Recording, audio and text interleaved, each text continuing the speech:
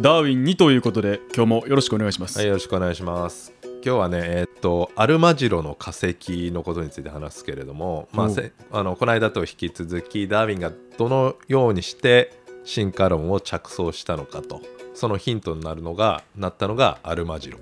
アルマジロですか？あんま聞かないよね、ダーウィンのでもなんか文めっちゃ化石に残りそうじゃないですか。アルマジロああ、そうそうそうそう。硬いですもんね。はいはい、その辺やね。うん。で、アルマジロはその現世というかね、現在もいるよね。はい。でダーウィンがそのビーグル号で南アメリカ大陸を旅していた時にやっぱ本物の本物っていうか生きてたやつをこう見つけて捕まえたと。うんうんうん。でやっぱ食ってたらしい。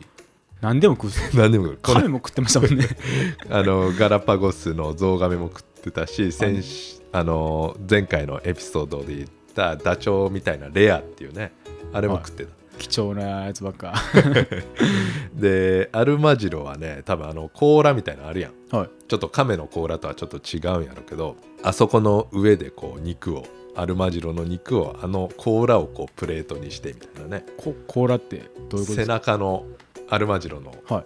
硬いまああれ皮膚がああやってはいはいはいはい。変形したんやけどね。あれをボールなのかな器代わりにしたのか。あれを器が器代わりちょっとフライパン代わりにしたのかわからんやけどその上でお肉を焼いて食べたというですね。まあそんな話も残ってるけどアルマジロはねあの南アメリカ大陸に、まあ、特徴的なグループであと怠け者とかアリクイっているじゃない今も。はい。ね、あのシロアリとかを食べているアリクイだけど、まあ、それらはあの同じグループ大きな意味ではこれ同じグループなんですか？大きな意味では同じグループの哺乳類で南アメリカ大陸にしか今いないよね。全然ちゃうっすねでも。違うね。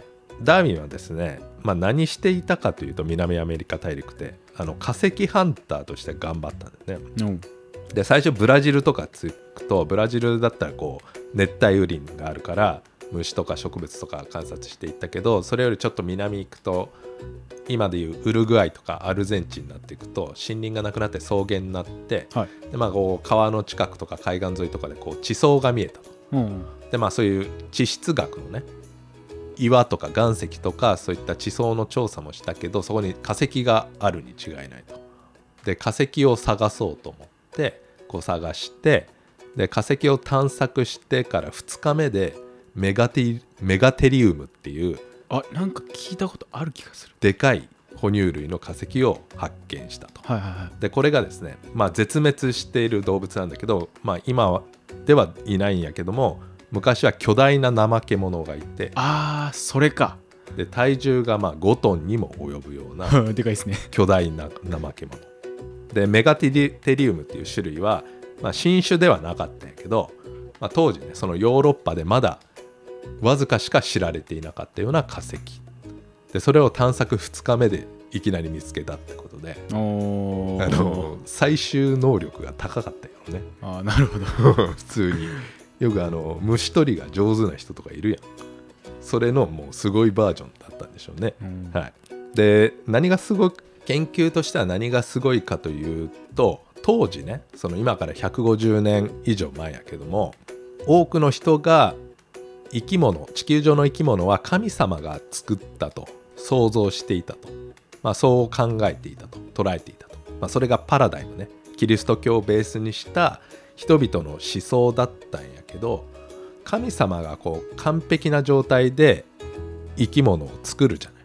そうした後じゃあその生き物どうなるかっていうと絶滅するなんか必然性というか理由ないじゃない。完璧ですからね。完璧に作っちゃったんやからはい絶滅ってどういうことなの？絶滅するってことは何かしら不備があったってことですか？ねかんかったんかっていう話になっちゃうじゃないはい。あとはそのキリスト教のその考えから言うと地球の年齢がねわずかこうまあたかだか数千年だと考えられていたんだって。あー今はあれですよ。40何億年前とか言われてますよね。言われていて生命が誕生したのが何十億年とかね言うけどだから地層がねこう1万年前とか10万年前とかの地層から生き物が発見されるとか。でそれが今生きていない。現世にはいいない生物っていうのがちょっとそのキリスト教のパラダイムとは相入れないじゃない。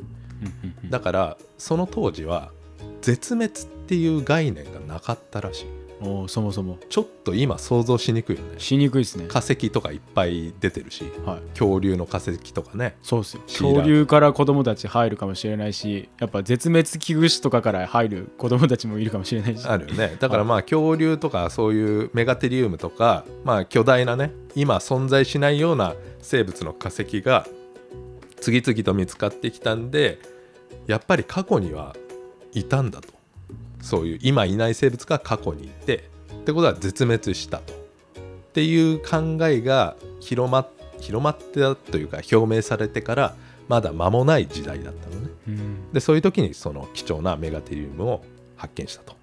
で他にもですねメガテリウム以外の絶滅した怠け者の化石も見つけて全部巨大な種類だったんだけど3種類見つけてそっちの3種類は全部新種だったとで巨大な怠け者っていうのがどういうことかっていうどういうやつだったかというと今の現生の怠け者は木の上にいるよね。はい。樹状性なんだけどはい。その絶滅した巨大怠け者は草原を歩いていたと4つの足で。まさか。怠けてないってことですか怠けてないね。それなりにちゃんと歩けた。歩いてあとちょっと立ち上がって木のちょっと上の方にある葉っぱか実かなんか食べていたとかまあそもそも体めっちゃでかかった。そんなやつが南アメリカ大陸で何種類かいたってこと。ダーウィンが3種類見つけたしメガテリウムもいたしと。だ要するに過去には過去っていうのはまあわずか数万年前なんだけど1万年前2万年前まではそういった強大な怠け者がいたんだけどそういうやつらは全部絶滅して小型のかつ木の上に暮らしている怠け者だけが今に残っているということ。だね。はい、でこうしたですね大型の哺乳類、まあ、メガファウナとも呼ばれるけども大型の哺乳類が大量に絶滅したと一気に絶滅したっていうのは南アメリカ大陸だけではなくて世界各地でこの時代に起こっていると。オーストラリアとかでも。オーストラリアもそうやね。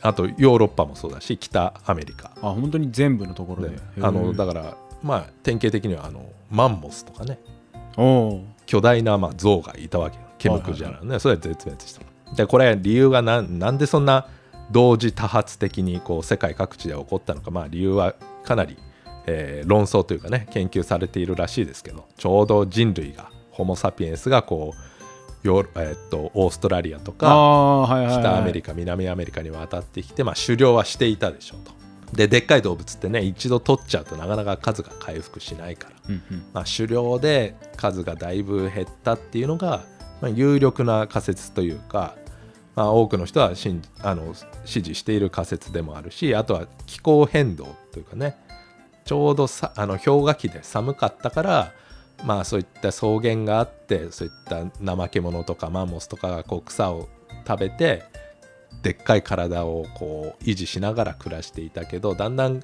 気候が暖かくなってそういった草原が減ってきて森林っぽくなってみたいな感じになるとでっかい動物は絶滅してしまったと、おーもういうようないろんな要因があって、まあ、過去のことだからよく分からへんねんけどまあそういった怠け者だけじゃなくて南アメリカ大陸だけじゃなくていろんな動物が絶滅しましたよと。あとですねダーウィンは怠け者の他にもいろんな化石を発見して一つはね馬の歯を見つけたのね化石を。うますか？馬の化石。うん。祖先の化石を南アメリカで見つけて。それほんまに馬の歯なんですか？それ分かったのがすごいよね。そうですよね。それね多分分かったのかな見た瞬間に。マジっすか？馬やみたいな。どっちだかな？ちょっとこれ確認してないけどまああー馬だった。へえでこれはねでもねびっくりしたらしい。だ目を疑ったらしい。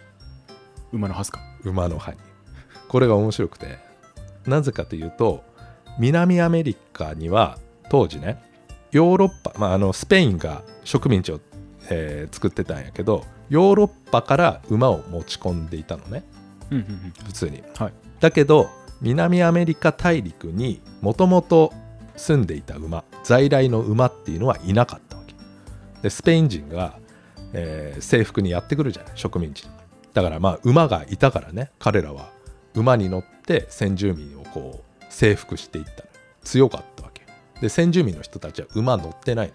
馬いなかったから。家畜にできないじゃない。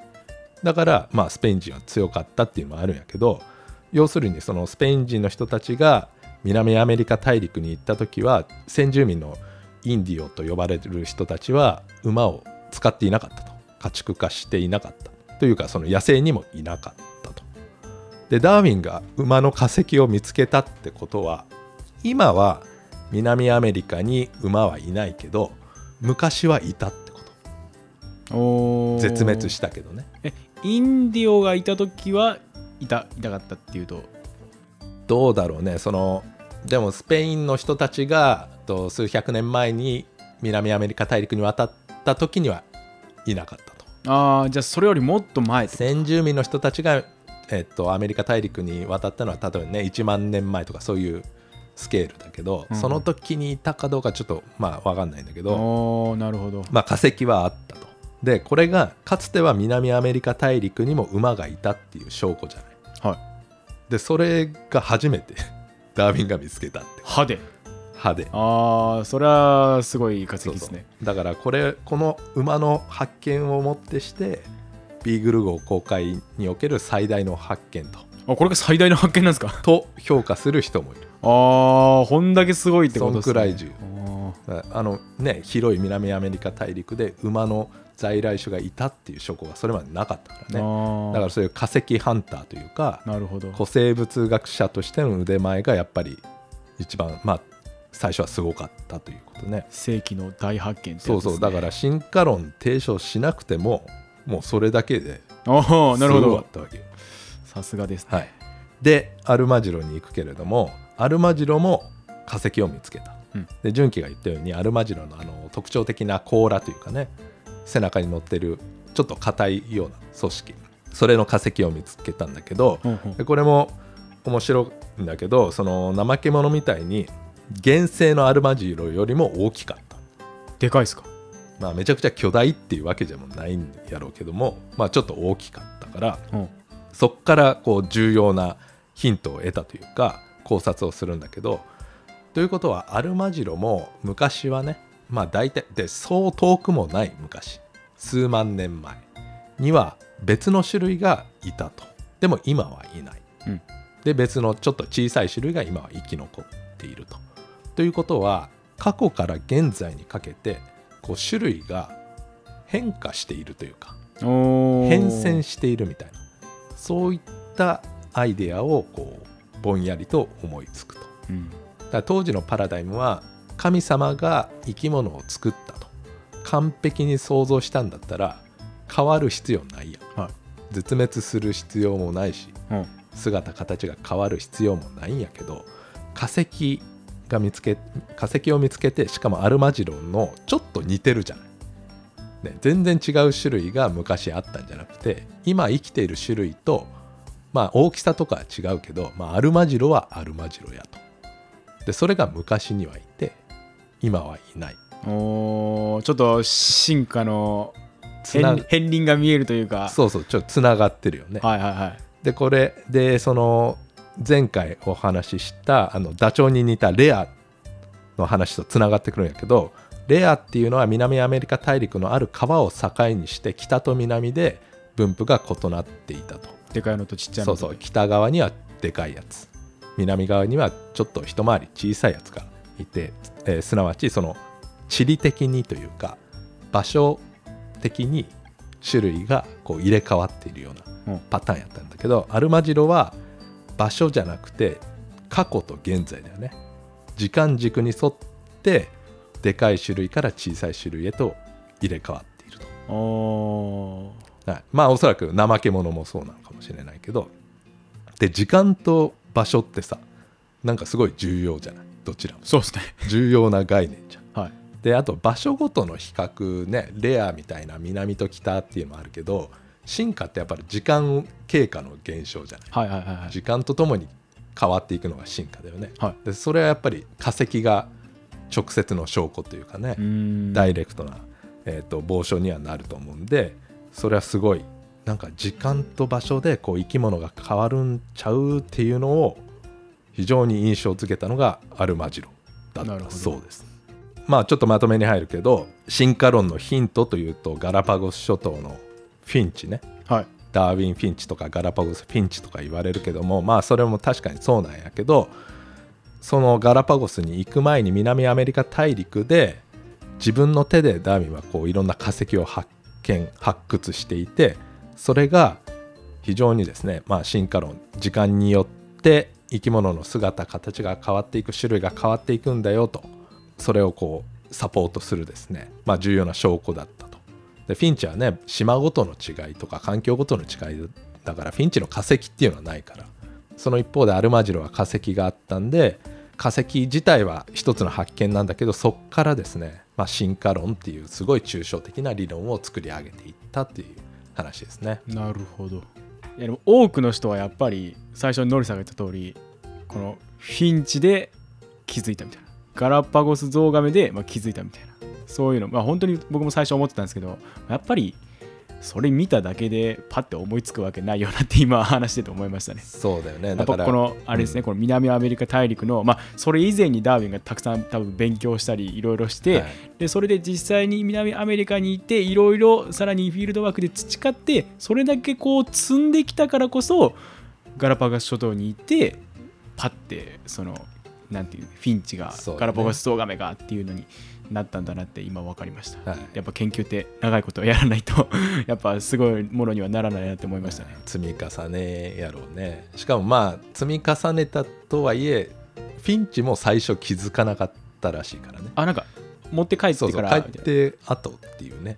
だからそんくらいやっぱ最初は難しいんだよね進化って理解するの。でも後から考えると全てがつながってきたっていうことで。それはすごいっすわ。はいということで今日はこの辺で。ういっす。ありがとうございました。ありがとうございました